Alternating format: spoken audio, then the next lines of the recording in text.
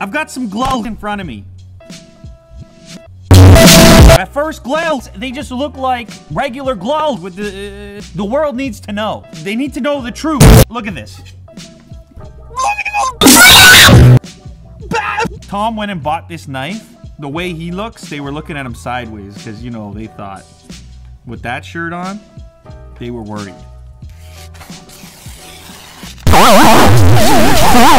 Supposedly, the fibers that are in there won't allow a blade to come through and come. That's the idea here.